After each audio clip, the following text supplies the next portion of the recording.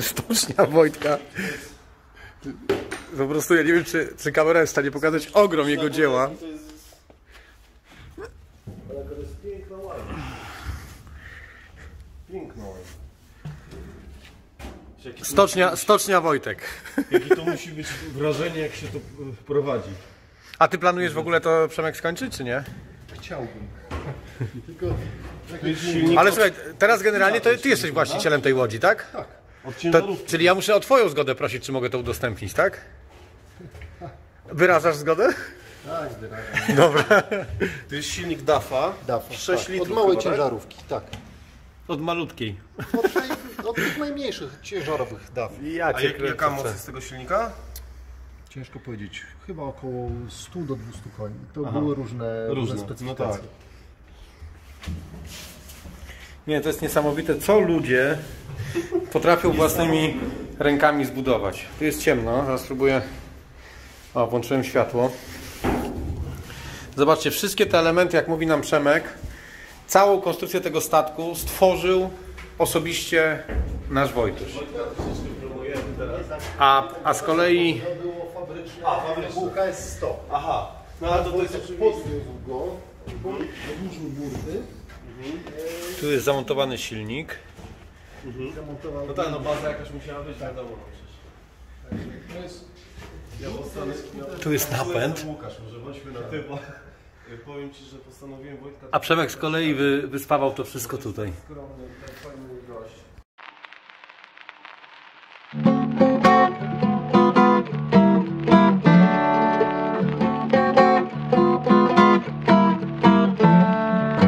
Dziesięciolecia, no to nikt o tym nie wiedział, tak? No tak. A tam po prostu jak to pan Wojtek mówił, ścigali się dookoła śmietnika. No tylko, że ścigali jakimiś sprzętami, które Formułami, tak. bił, biły zachód, no nie?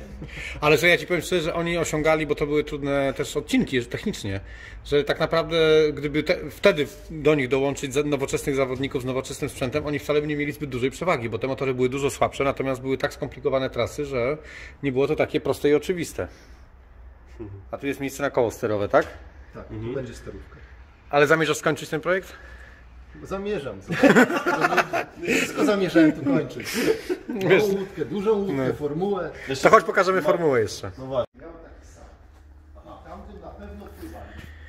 Teraz tak słucham, e, to część kadłubu tak naprawdę Wojtek miał z e, oryginalnej łodzi, a całą górę o pewnej wysokości dobudował, ale nie wiem czy widzicie ogrom tego, bo tu w tym małym pomieszczeniu jest ciężko nagrać e, i w ogóle wyobraźcie sobie, że to człowiek ręcznie zrobił, ale najpierw Wojtek, a potem nasz gość Przemek, ale wyobraźcie sobie, że to ma zanurzenia ile?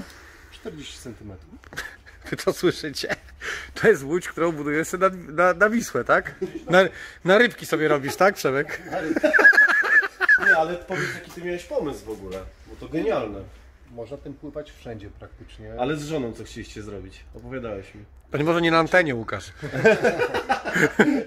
Nie no, plan był taki, żeby rejs dookoła Europy i pozwiedzać trochę. No słuchaj, to jest mniej więcej wielkość trzech średnich warszawskich mieszkań. Ile masz na pokładzie? No będzie tych ze 100 metrów? Nie, jest tu nie. Na dole i na górze łącznie. Takich pomieszczeń będzie 40 metrów. No chyba więcej, no bo to Ale to masz... część odejdzie na, na różne... Ale nie, ja mówię bez, bez jakby wyposażenia, czyli tych metrów kwadratowych ile będzie? Samej powierzchni. No bo długość, długość łodzi jest ile? No, tak jak mówię, będzie około 40 w pomieszczeniach, plus pokłady zewnętrzne dodatkowo jeszcze jakieś kilkanaście metrów. Mhm. I pod spodem cała mechanika też zajmuje powiedzmy z 20-30 metrów kwadratowych, Pod prawda? spodem cała mechanika mniej więcej jest w środku, e, w środku kad- długości kadłuba, plus napęd jest w tylnej części. O właśnie, idziemy do napędu, bo to też pewnie będzie ciekawe, zaraz. Tutaj niestety mamy, jakie mamy oświetlenie, czyli tylko i wyłącznie z telefonu. O, jaka turbina. To nie ma śrubek, tylko jest strugowodny napęd. Wow. Niesamowite. Ale tu widzę i przetłoczenia były robione. W czasie eksploatacji się. Rozumiem, że te wyjścia boczne to jest zmiana kierunku To jest rewers. rewers, no tak, do, do wstecznego biegu, tak? Tędy wyrzuca wodę i topi kajakarzy. No dobra, chodźcie formułkę zobaczymy. Ciekawe miejsce. Przemek w ogóle jest, ja to powiem tak kolokwialnie, komputerowcem, tak? Informatykę. I zobaczcie, co komputerowcy robią, jak, mają, jak, kiedy żony nie wiedzą, co robią. Jak im się da czas i miejsce, tak? Jak się nudzą. Ja myślałem, że już do Pentagonu zamówiecie w wolnej chwili, a nie... Dlaczego tutaj w ogóle jesteśmy? No jest bardzo ciekawa sprawa, bo zainteresowaliśmy się oryginalną formułą Wojtka. Wojtek ten samochód zbudował, nie wiem, słyszeliście pewnie na ten temat, e, ścigał się nim zresztą, to są jego oryginalne obudowy e, z okresu wyścigów. No koniecznie.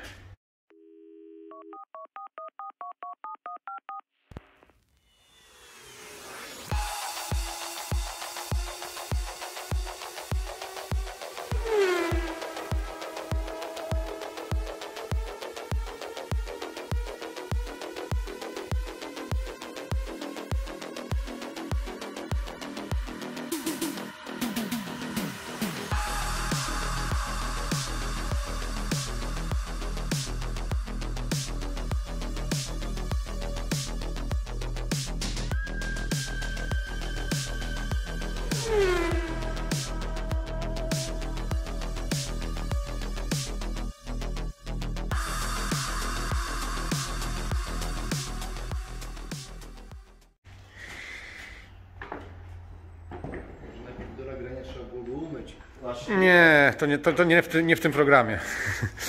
I słuchajcie, ten, ten samochód posiadał kilka silników w historii, jakie Wojtek do niego zainstalował i zbudował. W tej chwili jest najmocniejsza jednostka. Yy, On w ogóle, wiemy mniej więcej ile on koni, może Około 300. około 300 koni mamy w tej chwili. A waga tego? 5, 400, 600 kg. Jakieś pytania? Samochód zrobiony ręcznie. Chociaż tak naprawdę baza to jest Estonia, tak? Yy, Więc jakby oryginalny, ory- oryginalna wyścigówka produkowana, yy, zresztą w tej klasie wielu naszych przyjaciół się ścigało yy, w Polsce. W pewnym czasie została wycofana ze względu na tak naprawdę usytuowanie nie tyle kierowcy, co jego nóg. Mi się wydaje, że możecie sobie wyobrazić, gdzie mniej więcej znajdują się nogi kierowcy, co powoduje przy ewentualnych stłuczkach dosyć duże ryzyko. Więc jakby oglądamy sobie sprzęt, przy okazji rozmawiamy, poznaliśmy kolejną fajną osobę. E, Łukasz już miał okazję wcześniej Przemka poznać, ja dziś, dlatego pozwoliłem sobie również Wam pokazać. Pytaliście skąd się bierze takich ludzi? Ja ich przyprowadzam do Tak, Łukasz. siebie. O, I Wojtka przyciągnąłem na siłę i pana Przemka też musiałem pokazać, bo też dobry, za, pozytywnie zakręcony, można tak to Oprzyrządowanie z lotnictwa. Mam nadzieję, że pozytywnie. według, według nas tak. No ale czasu nie marnujesz, no i to jest fajne. Trzeba się bawić. Super sprzęt, no i kupę historii i historia naszego przyjaciela. Tego czasu trochę Widać pomogę tutaj. No co nam zostało? Paliwo podłączyć tylko, tak? e, podłączyć paliwo, sprawdzić, czy to wpryskiwacze dobrze podają. Okej. E, Jak Bo ty je odpięłeś, żeby zobaczyć, czy wszystkie dają. Tak? Tu jest ciekawa historia, słuchajcie, bo wszystko w ogóle co tutaj widzicie to budował Wojtek. Dobrze mówię, to chyba jeszcze przewóz ty nic nie... nie... Nie, silnik to ja razem z panem Wojtem. A, wspólnie. Yy, oczywiście wyobrażacie sobie, że te silniki... Yy, gdzie ten w ogóle, skąd pochodzi ten silnik? Bo muszę cię podpytywać, bo nie mam wiedzy. To jest Honda Mugen. Honda Mugen w ogóle w wyczynowy formule silnik, jeździła. e, Wyczynowy silnik e, Hondy. Natomiast ona jest zasilana normalnym, klasycznym układem elektronicznego wtrysku. Ale... Mechanicznego. Znaczy normalnie jest elektroniczny. Normalnie. A, a tu jest założony Kadżetronic z BMW, tak? Dobrze Tak. pamiętam? Szóstki? Mechaniczny wtrysk. Taki jak w Mercedesach jest w Dzisiaj już BMW. nikt nie naprawi. Nie, no słuchaj, nie robimy. ja znam jedną firmę, co naprawia. No i słuchajcie, ile sprzęt stał, kiedy był ostatnio odpalany? Tak naprawdę 5 Wczoraj. lat temu. Nie, chyba w- prze- półtorej roku mi się wydaje, że dwa lata temu. Chyba półtora roku, nie półtorej. On był ogólnie natomiast odpalany jako taki silnik nie był uruchamiany, że pracował. Aha, okej, okej.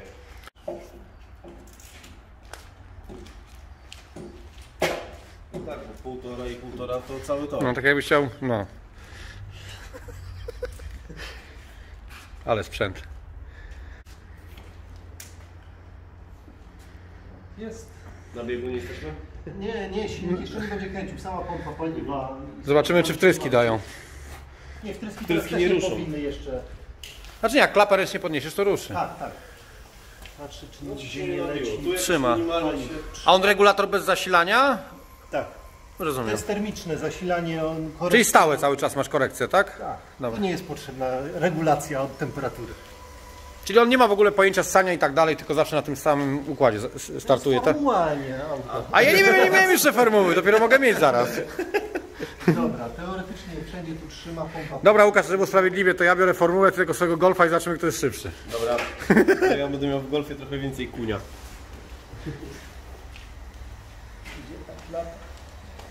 No, chodź tu.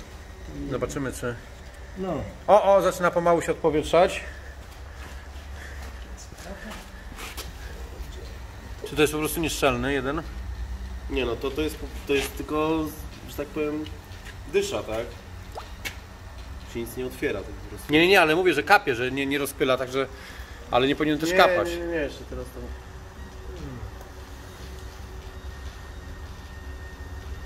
Drugi idzie się od powietrza już? O, już O, o, zaczynają, dodawać. zaczynają dawać. Dobra, moment, uwaga, trochę zakręcimy silnikiem, No. żeby się... O, a pryskiwacz dodatkowy.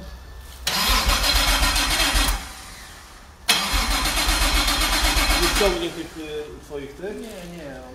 Może wyjmijmy, co? Na wszelki wypadek. Ciągniesz matkę i trzeba będzie go wycyczyć. Trzeba mu. Dobra, teraz się bardzo. Słuchajcie, a co wy o tym myślicie, pomyślę? Bo jak zwróciliście uwagę, swoje materiały bardzo często kręcę pod wpływem was. To kilku pomysłów już mnie zmotywowaliście. Pchnęliście mnie do nich, w kilku mi bardzo pomogliście. To jest kolejny szalony pomysł. Piszcie śmiało.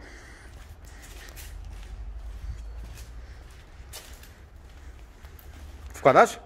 No jak? O kurde. Czyli to się może wydarzyć. Jak to jest z kolejnością w ogóle? On sam sobie robi. Leją wszystkie na raz Te same długości są? Tak. Podciśnienie steruje tym. Znaczy one tak naprawdę leją cały czas. Mamy świeże, czy... No, Pachnie jak nie, świeże.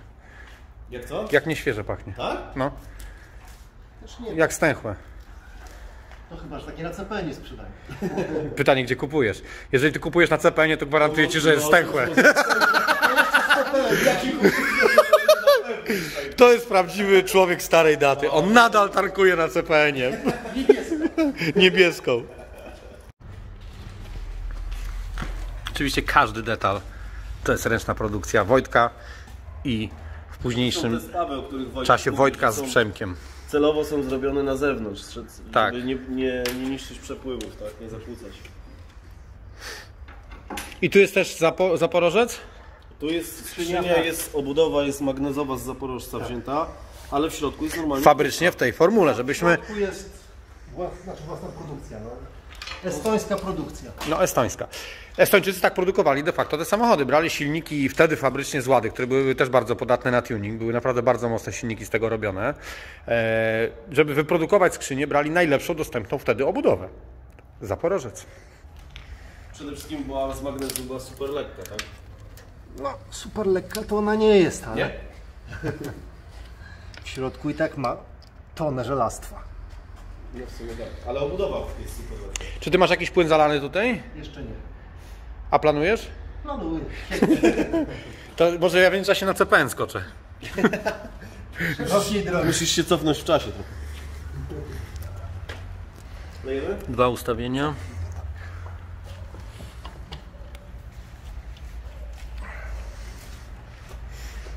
Czy Was to tak samo ciekawi jak mnie? Ręcznie produkowane formuły. Tak się kiedyś to robiło. Myślę, że odpali, Czy no. się nie zapali?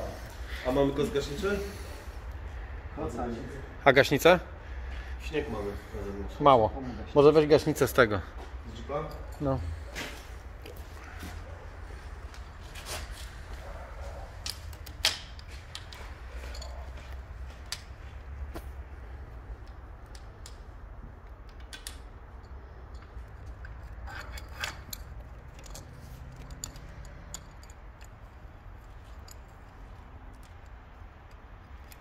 Sam jesteś ciekawy, powiedz szczerze. Tak.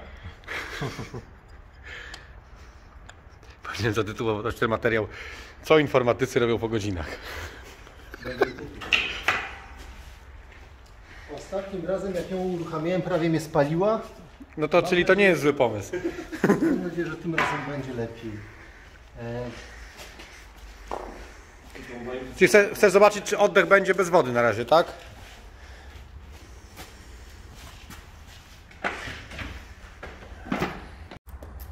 parę lat. To co się stało, że przy komputerze teraz zarabiasz na życie? Trzeba. Hobby fajne, ale z czegoś trzeba żyć. To jest w ogóle śmiesznie, bo jest hydrauliczny ręczny, prawda? Tak. Dodatkowo w Estonii normalnie nie było ręcznego. Tu jest dorobiony dodatkowy, e, dorobiony dodatkowy zacisk.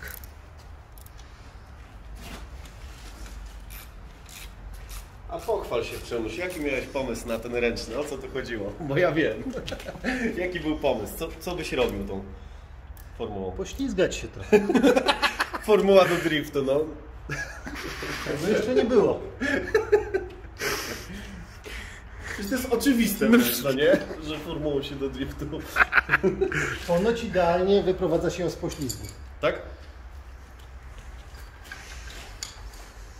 Możemy sprawdzić. Że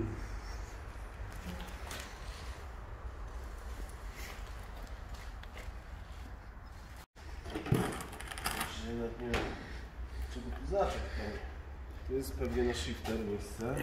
To jest prawa, a tu jest chyba Nie, lewa. to nie jest na shifter. Nie, to jest z tyłu.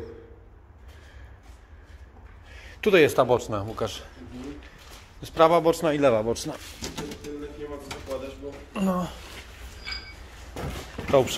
To tylna nie będzie pasować. Bo jest za, za krótka. Silnik inny. No ale przymierzmy, zobaczymy z ciekawości, jak to wiesz wyglądało. Też pasować w ogóle nie będą, bo dospawaliśmy całe te e, boczne trzymania do płotu.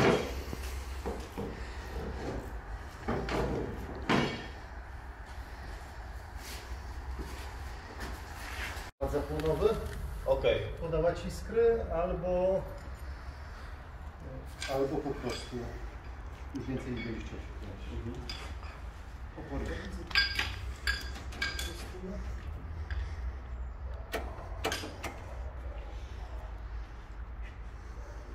No bo patrzysz jak to Hydrauliczny, ręczny, faktycznie. Coś nie brakuje, no. Bardzo niemożliwe. Może zacząć? Tak, tak, pasowało tutaj dobrze. na pewno. Natomiast Możliwe są się, po prostu ten środkowy wtryskiwacz źle, jeszcze nie dobrze Nacisnął się? Tak. Jest pod kątem na pewno. Może. To Pytanie, czy w tą stronę? Nie, tak musi być.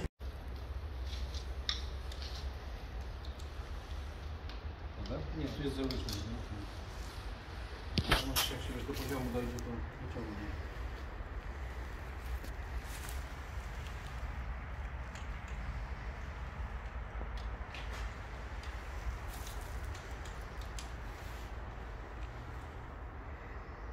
Wyciągnie? No mniej No więcej. jak nie to leciutko pukniemy może wtedy, nie? Ten trzyma, ten trzyma, to tylko ten, no nie? A to pasuje idealnie. Może być ta gumka, gumka trochę bardziej wiesz, szurnięta, no nie?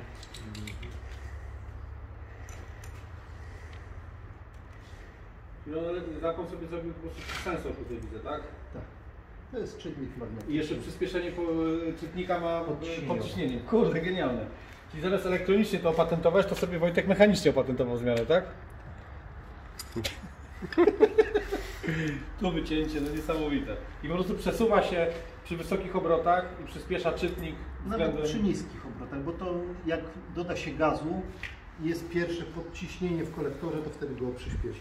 Niesamowite, ale to jest tak proste w swojej idei, e, że aż niewiarygodne. To z kolei czujnik. Tak, to jest otwarcie przepustnicy. Prosta i niezawodna inżynieria.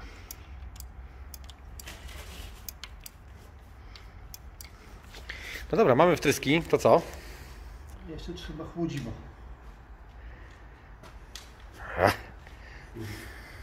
Dolejemy. Trochę jest do wlewania. Chłodnicę to kojarzę z popularnej w Polsce włoskiej motoryzacji. Ale ten męski fajny. No bo cóż lepszego, jak Fiacika można by ułożyć. Nie. Wisła zaraz, za, za płotem, tam jeszcze ona trochę mandruje. Ale czy trzeba... Musisz to powtórzyć, Przemek, opowiedz jeszcze raz. Jak, nie opowiedz, to jest świetne. Jak Przemek wstawił tutaj tą łódź? Pró- próbowałeś, tak? Dwie firmy. Pływa, więc dlatego Była powódź była powódź, korzystałem z powodzi. i po prostu ją Płynął sobie. A tak z ciekawości tak, spytam, masz jakiś plan na wy- wyjście z portu tym? na kolejną powódź. czeka na kolejną pewność. Po prostu. Troszeczkę to jest tak jak budowa statku w butelce, no ale kto o tym myśli podczas budowy? Ale to jest słuszna koncepcja. Zrobiona to będę się martwił, jak będzie No tak.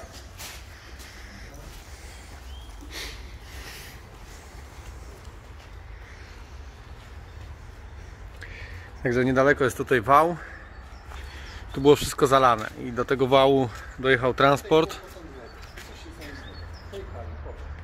No. Półtora metra hali mniej więcej na oko było wody.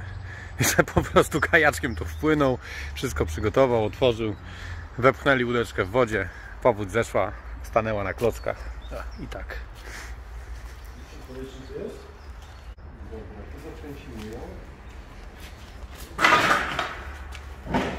Z nerwów bym się wyrżnął.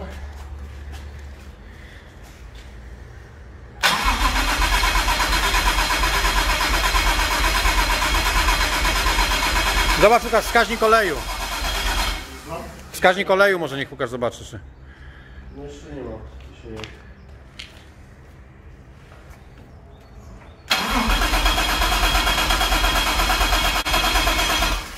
Jeszcze przez rurkę nie przeszło. Gdzie ma magnet?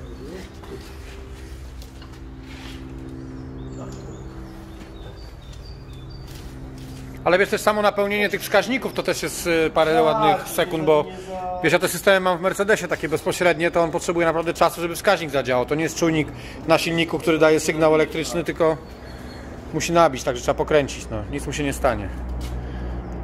Jak tam poziom? Nic idealnie.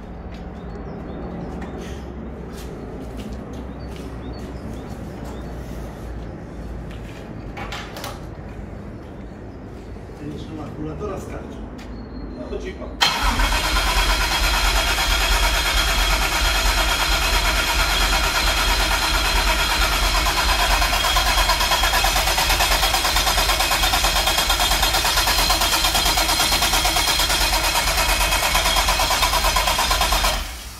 A zobaczmy na, na wejściu czujnika, czy tutaj idzie. Tu jest czujnik od ciśnienia. Natomiast Z paliwem Nie pachnie. Ale nie, bo on jest z oponu nie nie włączył. odpalać, pompa jest nie włączona. Aha. Także. Chciałeś zbudować ciśnienie oleju, tak? Znaczy chciałem, żeby zasało płyn, zasało wszystko, żeby się przesmarowało i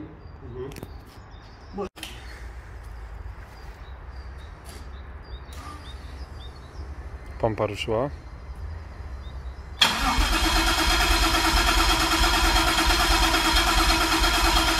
Tapłon zaraz damy.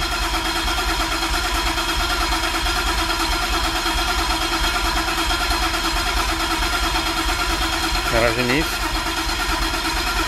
5 lat stania.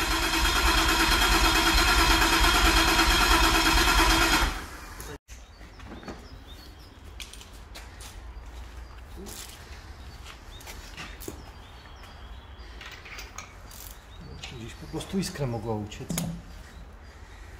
Nawet czujnik może być wiesz, zabrudzony czy nie.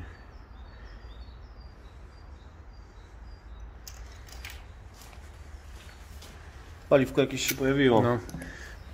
Zobaczmy czy po prostu czy, czy mryga czy nie. no.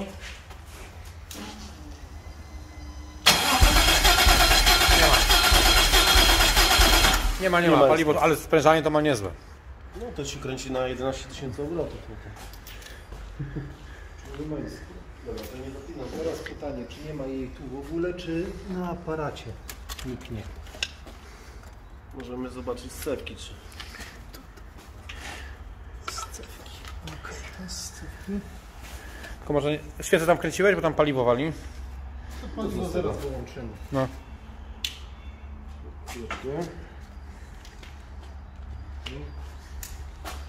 No. Nie ma, nie ma. Nie ma. Czyli teraz prąd na cewkę się sprawdzić. No, albo mu na krótko prąd dać. Dobra, cewka. Tu ma masę, plus też dostaje. Z modułu? Moduł, tak. Tu jest trochę zacznie działo kablowanie na nim, wiesz? Tu było odpięte? Tak. No to jest odpowiedź. Znaleźliśmy iskrę. Brakowało nam masy. Tylko musimy ją trochę porządnie zamocować, no nie? Żeby nie...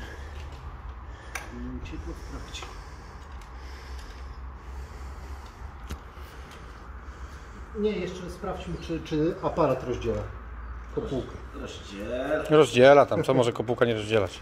Jak patrzę na niego, to widzę, że rozdziela. Na 100%. Zresztą, kurczę, nie kopaliśmy w opole. A jeszcze nie bujaliśmy. No daje. Jest. Rozdziela. Mówiłem, że rozdziela. Widać było po obudowie, że działa. No to słuchajcie, zaraz pójdzie dym. Pytanie z czego? Pytanie z czego, dobre. Czy to będzie kontrolowany proces spalania, czy nie? W mniejszym lub większym stopniu. Na pewno będzie to eksperyment.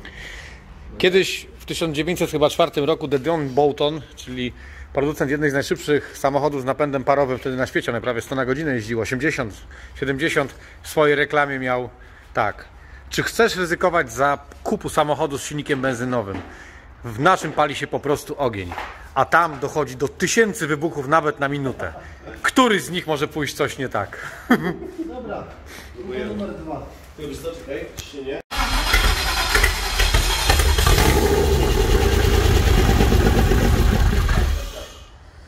ma ciśnienia, albo... Ale silnik pali. I to jak szybko zapali. Elegancko. Tylko sprawdźmy, kurczę, może z tym ciśnieniem oleju, nie? Na czujniki zobaczyć, czy siknie, tak? Czy siknie olej? No. Dobra, można. Albo wałki obserwować. Alterię, tak? No wiesz, Mokro?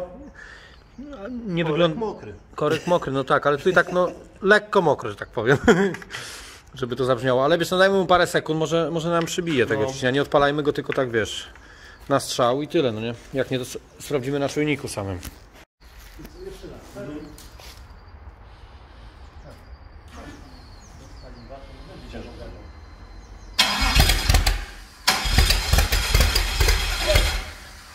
Rośnie ciśnienie? Genialnie.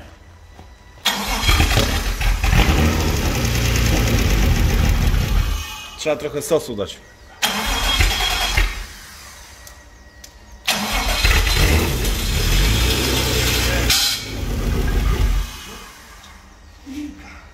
A to rozrusznik? Tak. Ale ciśnienie jest. Czemu? Coś się przytarła lineczka. Tak, bardzo Możemy ją odpiąć i tu sobie majdlować. Nie trzeba jej odpinać, to tak pójdzie, bo to jest wiesz. Dobra, uwaga, odpalamy. Weź Łukasz, ty gaz kontroluj. Ja wezmę olej. Ja bym ją odpiął, wiesz, bo ona może blokować. Czekaj, wyłącz może te zapłon, żeby paliwo się nie lało. Przepustnica trochę stoi nam. No właśnie, Dawno nie była, to dlatego. rozruszajmy ją po prostu. A, czyli to nie linka, bo tu już chodzi lineczka teraz, wiesz? Tak, tak przepustnicą. Nie masz żadnego super preparatu. Coś się zawsze znajdzie.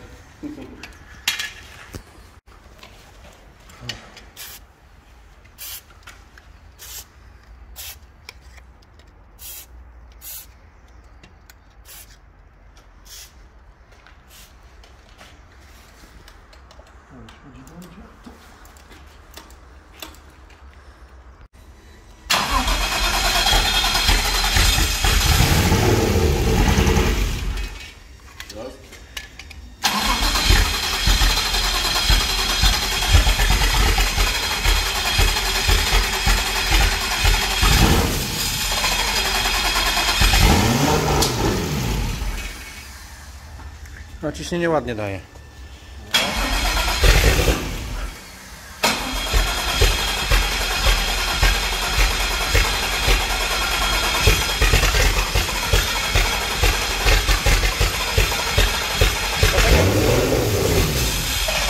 Daj mu nabić trochę ciśnienia, wiesz, bo chyba niedobór paliwa on ma. Albo już niestety Nie odpowiedziałem jeszcze. albo wpryskiwacze już odłożyło się w nich bio i też je zatkało. Też Teraz powinno być ok.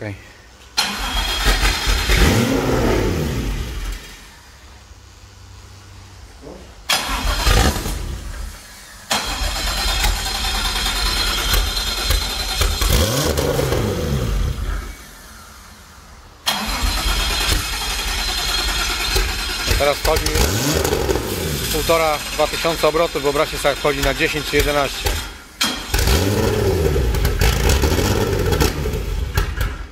Brakuje mu paliwka. Albo klapa. Stoi. Może. Jak już się wiesz, zapali, Znaczy, kręci, to dobrze by było, to trochę to stało. O, stoi klapa, wiesz? no ja dodaję gazu, a on nie ma powietrza. Tak, zaraz czekaj, może on się raz się. O! Ruszyła. Dławimy go, bo wchodzi na obroty, a brakuje mu powietrza. Dobra, ruszyła klapa. Dobra, uwaga. Była zastała.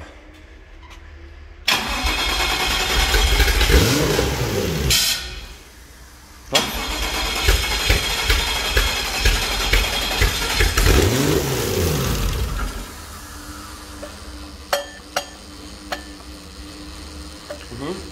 No,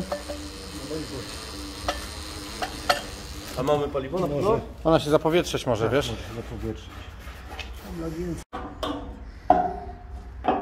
No, prawie jesteśmy na dnie, wiesz? Tak, to może być tak, że ona, wiesz, piana się robiła, nie? Wlej mu jeszcze te dwie setki.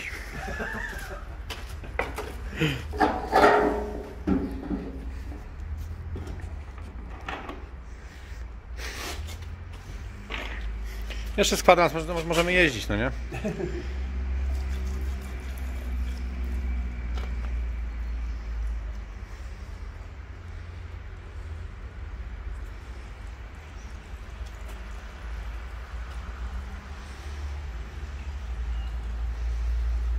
Na CPN wystarczy. Ty jedziesz, Przemek, do zupełnu? Próbujemy. Myślę, żebyś furorę zrobił, byś do McDonalda pojechał. Za niski. Ale I próba kolejna.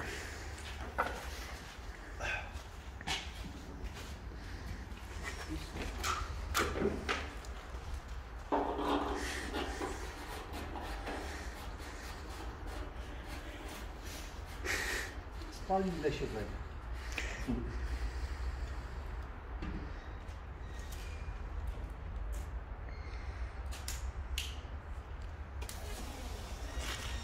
O! Pompa pracuje dobrze. Przestała hałasować.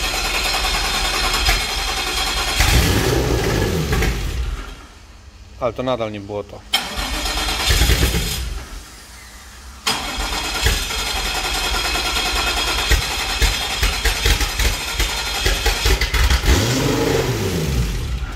Za wcześnie cofasz, on wolnych obrotów Łukasz nie trzyma, wiesz? tak? Tak, musisz mu dać, że jak on złapie, bo on w ogóle nie ma wolnych, wiesz? Ale Po prostu- żeby się nie wkręcił za wysoko. No to dla niego 2000 to nie są wysokie obroty. Po prostu tylko zamykasz, wiesz? On nie, nie, nie ma wolnych.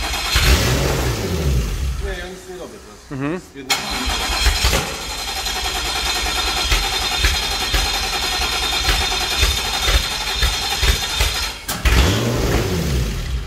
Zagada i gaśnie. Tak. Jakby... Hmm. Od razu, od razu się cofa też ten... Dobra, i bez przyspieszenia zobaczmy teraz.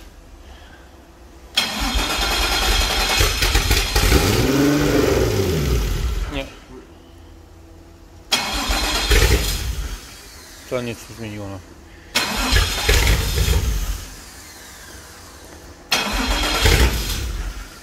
Najprawdopodobniej to wszystko mamy do oczyszczenia, żeby dalej kontrolować. Co się dzieje? W momencie, kiedy kręcimy poprzez spryskiwacze, po prostu dostaje się pewna dawka paliwa, na niej silnik załapuje. O, o, o. I chwilę dłużej popracował. I jeszcze tak 286 razy i silnik zacznie chodzić. Może on ma mówić i za mało powietrza. Ja spróbuję to wyregulować tak, żeby...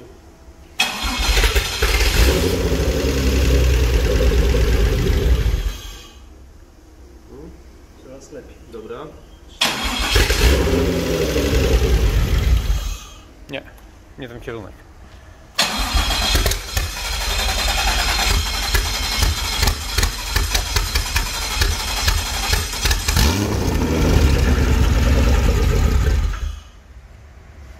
Myślę, że chyba bez czyszczenia tego to wszystko, co możemy dzisiaj zrobić. Gada, gada. No ale słuchajcie, no nie? jak Wam się podoba ta zabawka? Co o tym myślicie? O tym i o tej łuderce na rybki. Made in Wojtek and Przemek. Kiedy przełęcz pływamy? Po powodzi. Jak przyjdzie jakaś duża powódź, tysiąclecia. Trzymajcie się. I na tym kończymy. Cześć. Cześć.